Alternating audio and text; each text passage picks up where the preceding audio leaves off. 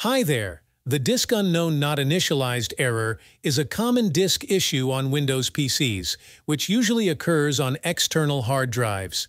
The error can occur for many reasons, such as disk not initialized, corrupted MBR, outdated or corrupted drivers, and so on. Based on these causes, we provide four fixes for you in this video. But before these fixes, you can change to another USB port first. If the error still exists, turn to the following fixes.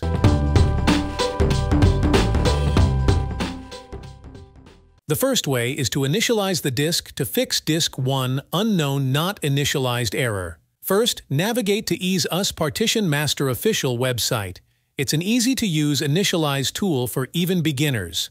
Download this tool by clicking the free trial button here or from the description below this video.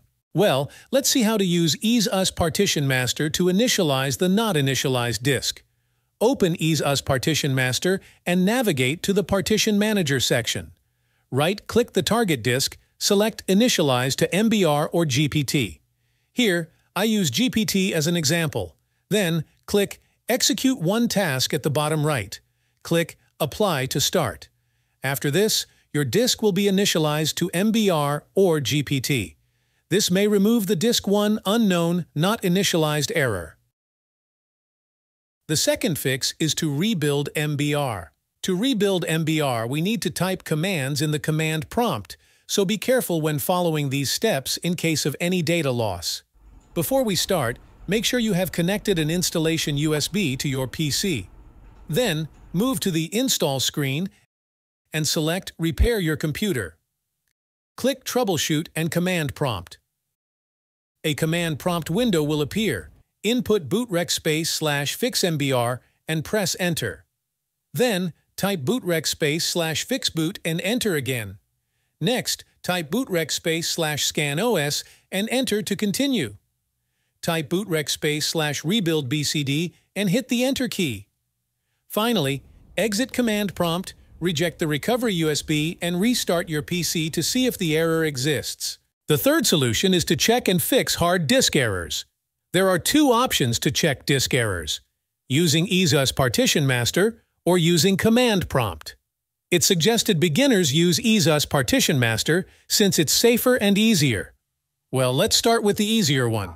Open EaseUS Partition Master and navigate to Partition Manager section. Right-click the target partition that has a problem. Choose Advanced and then Check File System. Next, check the Try to Fix Errors If Found option in the Check File System window. Finally, click Start.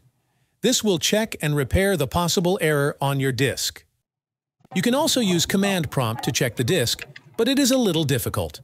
First, search Command Prompt in the Windows search box and run CMD as administrator.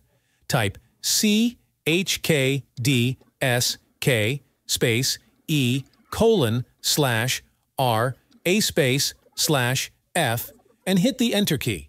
You need to replace E with the target partition number. This command will take some time to examine your disk. The fourth solution is to update the disk driver. First, right-click the Start button and select Device Manager here. In Device Manager, click Disk Drives and right-click the target DRV suffering from errors, Select Update Drivers. Click Search automatically for driver. If the current driver is outdated, you can follow the on-screen prompts to update. These are four solutions for Disk 1 Unknown Not Initialized Error. Hope they can remove your problem. Do not forget to subscribe to our channel to get more tutorials.